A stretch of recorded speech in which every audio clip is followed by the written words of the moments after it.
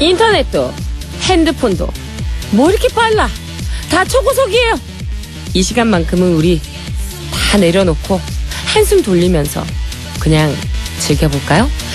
10분의 여유를 즐길 수 있는 시간 육수 토닉입니다 오늘은 앉아서 한번 해볼게요 턱을 가슴 쪽으로 으 당겨서 목 뒤 근육이 쭉 당기도록 한 다음 어깨 펴고 가슴 펴고 날개뼈 뒤가 부딪히도록 꽉 조여줍니다. 이 상태에서 팔꿈치는 몸통에 딱 붙이고 팔을 올려 손바닥이 밖으로 향하도록 꼭 이렇게 벽이 좁혀져서 내가 꽉 낀 듯한 자세예요. 이렇게 뒤에 날개뼈를 최대한 모아서 팔꿈치를 몸통에 딱 허리 한 다음 손바닥이 밖으로 벽 쪽으로 보도록. 자, 이제 양손이 어깨보다 최대한 뒤로 가도록.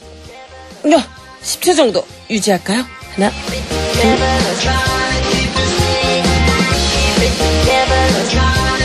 턱은 최대한 가슴으로 당기세요. 그만. 어떠세요? 어깨, 가슴, 목, 여기 상반신이 다 시원하죠? 이 동작은 목 근육 통증을 풀어주는 운동이라고 합니다. 그러니까 미루지 마시고 목이 좀 뻐근한데 싶으면 한번 다 같이 해보시죠. 자, 그럼 이제 라조타 가족들이 당황하고 민망하고 창피해서 진땀 뺀 사연 가볼게요.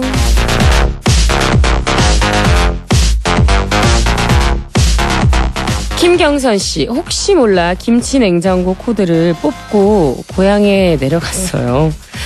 두 달 동안 김치가 폭삭 쉬었네요. 아니, 상한 것 같아요.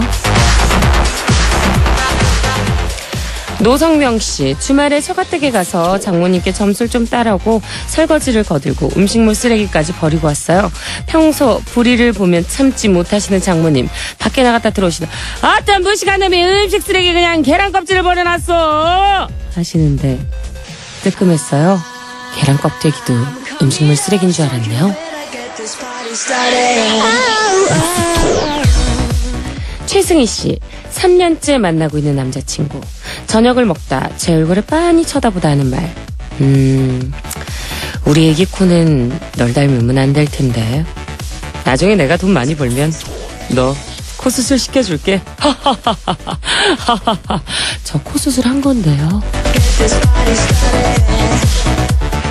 6057님, 주민센터에 볼 일이 있어 갔는데 제가 발걸음이 좀 빠르거든요. 서금서금 걷다 꽝! 이마, 빡! 유리로 된 문에 그만. 너무 깨끗해서 닫혀있는 줄 몰랐는데 심지어 고정된 유리문이었어요. 이마에 홍나고 완전 창피했어요.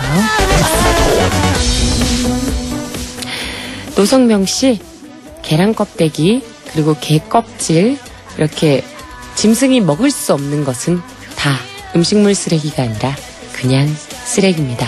아셨죠? 사과 껍질, 바나나 껍질 이런 건 음식물 쓰레기 맞고요. 계란 껍질은 그냥 쓰레기예요. 자, 국수로 장모님께 점수 좀 따시라고 국수 보내드리고요. 다른 분도 민망하고 창피하고 당황해서 등줄기에 땀 흘렸던 사연 있으시면 육수토닉 게시판에 많이 많이 올려주세요. 2787님의 신청